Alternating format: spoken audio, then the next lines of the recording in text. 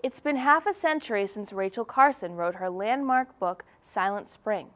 The Maine Audubon Society invited a panel of experts to examine how far the environmental movement has come in the past 50 years and how far it has to go. Tom was there and has this report. Rachel Carson was a marine biologist who is credited for starting the environmental movement with the publication of her book Silent Spring in 1962. Maine Audubon celebrated the 50th anniversary of that publication with a panel discussion about how far we have come since then at their visitor center at Gilsland Farm in Falmouth. Ted Koffman, executive director of Maine Audubon, explains the importance of this issue. Now, 50 years later, and, and Earth Day way back in 1970, what kind of progress have we made in all those uh, decades? Well, we've made some progress, and uh, we know more about the human body and how it relates to some of these toxic chemicals, uh, the effects on the endocrine system and the development of particularly uh, uh unborn children and, and uh, in young people.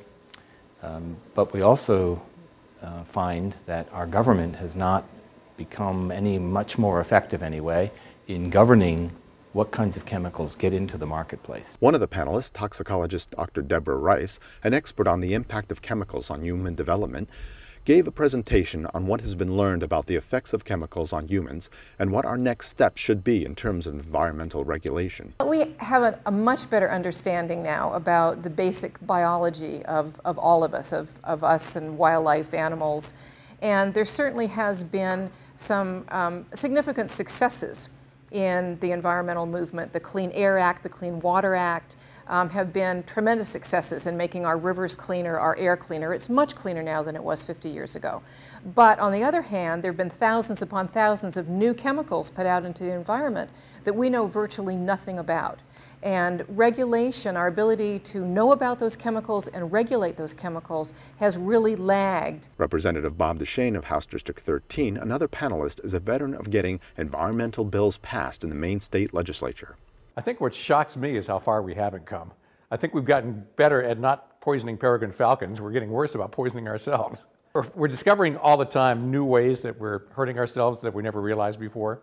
And every time we discover one, we're not taking adequate steps to uh, address that quickly. Maine is definitely at the forefront. There's probably a dozen to maybe 16 states that have taken some kind of action on chemical policy issues regarding products.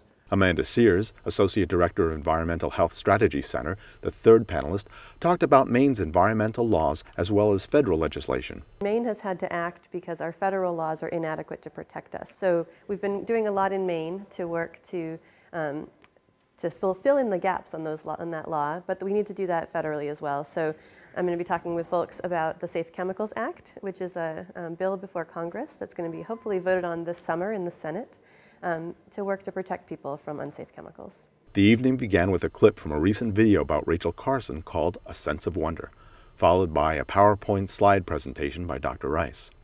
Thousands of chemicals, no screening. So this is still 50 years later, this is still the situation.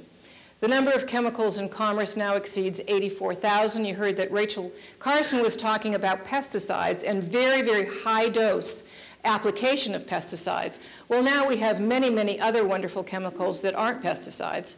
Um, a recent EPA publication stated there are thousands of chemicals yet to be screened and assessed. And EPA proposes to start looking at fewer than 83 beginning this year. So that's the situation, still the situation 50 years later. During the panel discussion that followed, Amanda Sears pointed out why the federal environmental law passed 35 years ago is ineffective. There's really a catch 22 with the law, with, with the Toxic Substance Control Act, which is called TSCA, by the way. So if I refer to TSCA, that's what I mean. Uh, and the catch-22 is that the EPA has to already have data in order to require testing.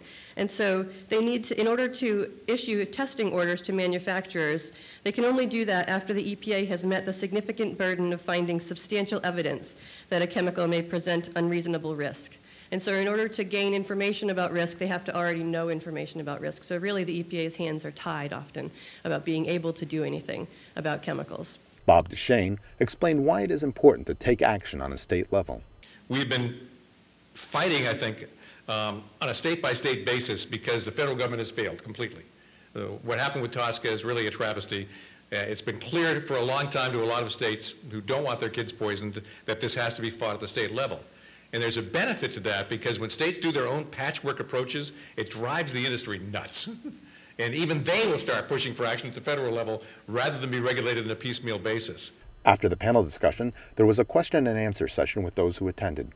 The entire evening's presentation can be seen here on CTN5 in May. This is Tom Handel in Falmouth for Community Update.